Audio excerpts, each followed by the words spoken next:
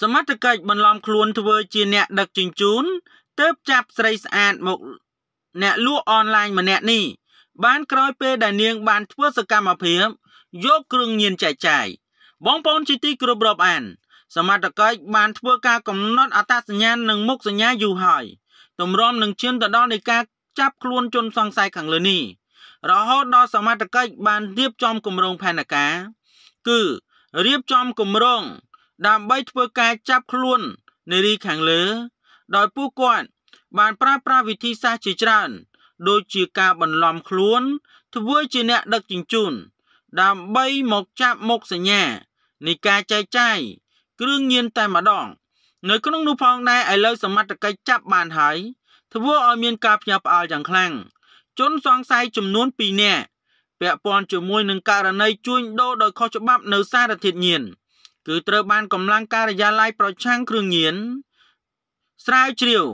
ធ្វើការឃាត់ខ្លួនបានជាបន្តបន្ទាប់កាលពីថ្ងៃទី10ខែមករាឆ្នាំ2022កម្លាំងការិយាល័យប្រឆាំងបទល្មើសគ្រឿងញៀននៃស្នងការដ្ឋាន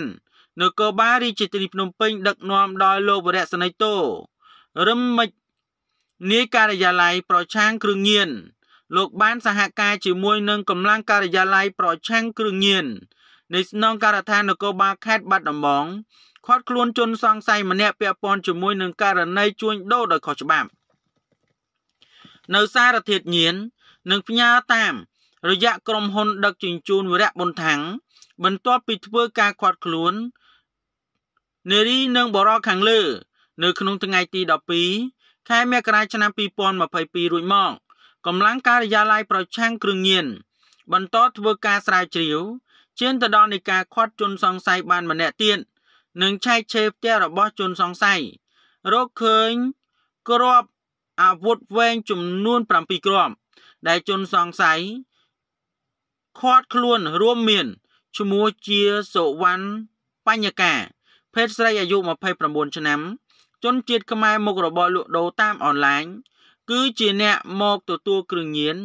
ផ្ញើពីភ្នំពេញទៅខេត្តបាត់ដំបង ទី2មានឈ្មោះមុំសាវីភេទប្រុសអាយុ33ឆ្នាំ ជនជាតិខ្មែរមុខរបរមិនពិតប្រកបជាម្ចាស់គ្រឿងញៀនដែលផ្ញើពីភ្នំពេញទៅខេត្តបាត់ដំបង និងពីក្រុងប៉ោយប៉ែតវត្ថុតាំងចាប់បានរួមមាន ក្រាមពណ៌សចំនួន4កញ្ចប់ធំល្មមម្សៅម៉ត់ពណ៌ស ចំនួន2កញ្ចប់តូចថ្នាំគ្រាប់ពណ៌ផ្កាឈូកចំនួន250គ្រាប់ថ្នាំគ្រាប់ពណ៌បៃតង ចំនួន200គ្រាប់ទូរស័ព្ទដៃចំនួន2គ្រឿងនិងបច្ចុប្បន្នជនសង្ស័យខាងលើកម្លាំងជំនាញកំពុងតែកសាងសំណុំរឿងបញ្ជូនទៅកាន់សាលាដំបងនៃរាជធានីភ្នំពេញដើម្បីចាត់ការទៅតាមនីតិវិធីនៃច្បាប់ដោយចំណព័ត៌មាននេះមានប៉ុណ្ណឹង ដើម្បីទទួលបាននូវព័ត៌មានថ្មីៗបន្ថែមទៀតសូមមេត្តាជួយ Subscribe និង Like